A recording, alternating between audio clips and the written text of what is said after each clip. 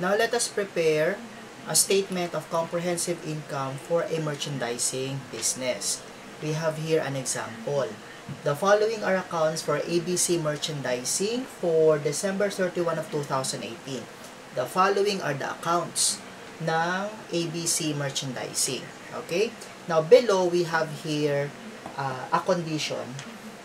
Accordingly, 20% of rent, depreciation, and utility expense pertain to sales office, while the rest pertains to a corporate office. So, later on, we will solve this nang sa ganon, ma-separate natin yung uh, for the selling expense and for the administrative expense.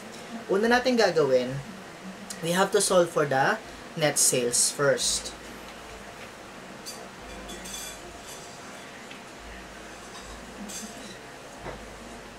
I-note natin siya as A. Para mas madali later on. Okay? So, we will start with sales. Ang sales natin dito is 5 million. And then, less tayo ng sales discount.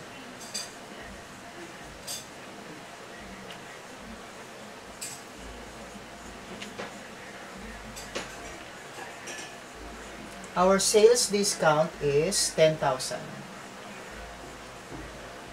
Meron pa?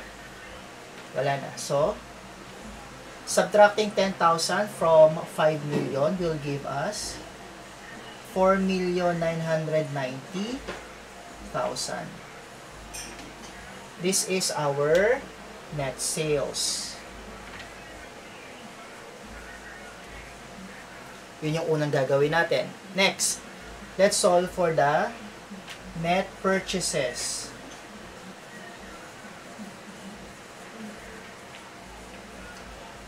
Note natin to as B. Okay, for net purchases, our net purchase is 3 million.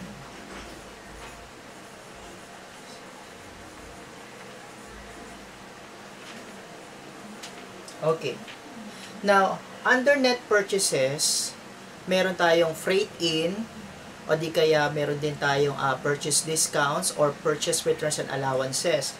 But then, since wala naman nakalagay dito, our net purchase is already the, the 3 million. Next.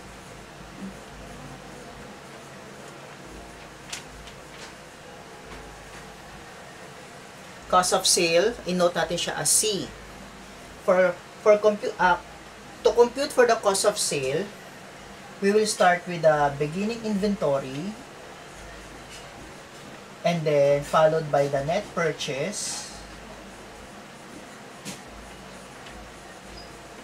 Yung sum nilang dalawa would be the total goods available for sale less ending inventory. And that will be our cost of sale our beginning inventory is 100,000 our net purchase is the 3 million. So we're going to add this. That would be 3 million 100,000. And then, less tayo ng ending inventory. The ending inventory is 200,000.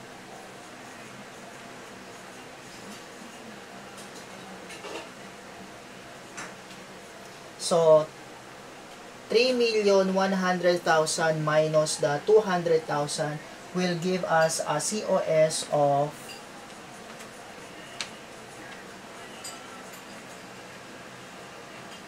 two million nine hundred thousand. So, meron na tayong net sales, net purchases, and cost of sale. Now, let us solve for the, let us prepare for the selling expense and the administrative expense. Now, dito, kanina, we have to take note of the 20% allotted for the office sales office. Yung natitirang 80% mapupunta raw sa corporate office. So let us construct a table. So we have rent, depreciation, and utility. Ang amount ng rent natin is 180,000. Ang depreciation expense natin is 120,000. Ang utility natin is 80,000. We will get the 20% of this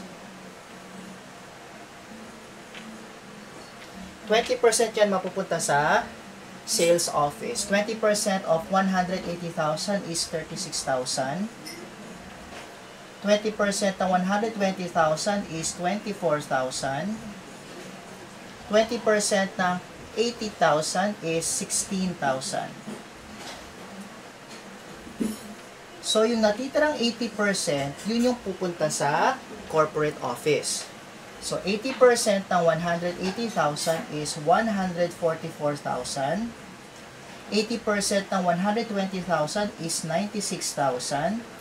80% ng 80,000 is 64,000. Okay? Let us prepare the selling expense.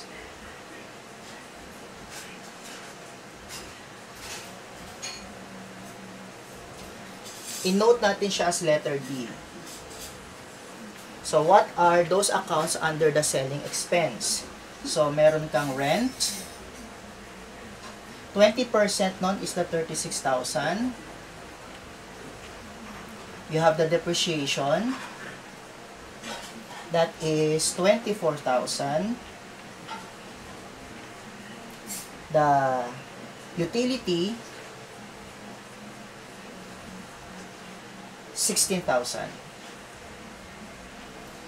And then, wala na tayong account kasi dito na included pa under ng selling expense unless the problem stated na dapat nasa selling expense siya. Otherwise, ito na lang siya. So, if we're going to add 36,000, 24,000, and 16,000, that will give us 76,000 selling expense. Next.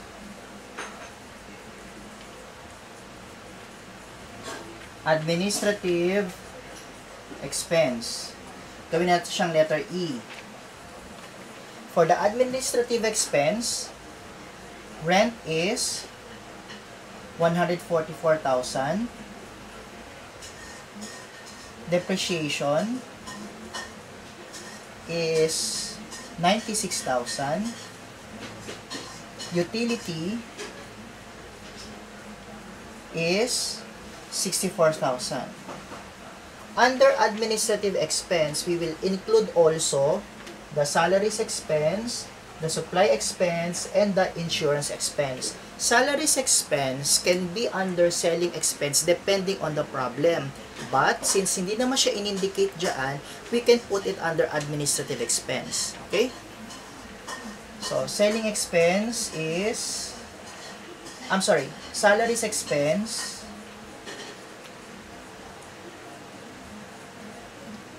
is 100,000 supplies.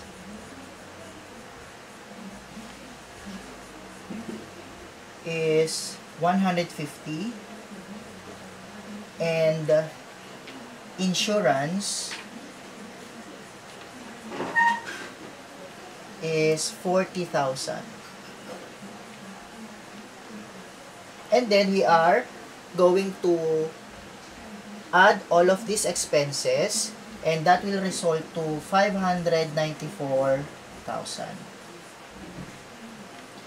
Ito yung magiging administrative expense natin. Now take note all the ano, all the balances. This is for the net sale, we have 4,990,000. For the net purchases, we have 3 million. For the cost of sale, 2.9 For the selling expense, 76,000. And for the administrative expense, 594,000. Now, let us prepare the statement of comprehensive income for ABC merchandising. So, I prepared here a summary of all of those balances. So, you will start with the title, the title of the uh, comprehensive income, that is ABC merchandising, statement of comprehensive income, and then for the period ended December 31, 2018.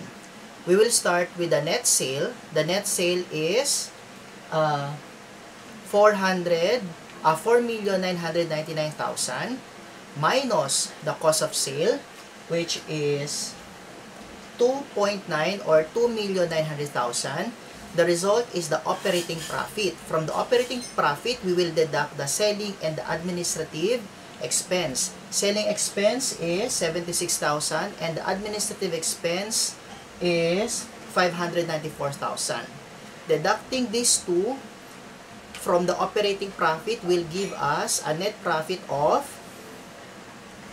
1,420,000 net income. Okay? So that is how we prepare a statement of comprehensive income for a merchandising business.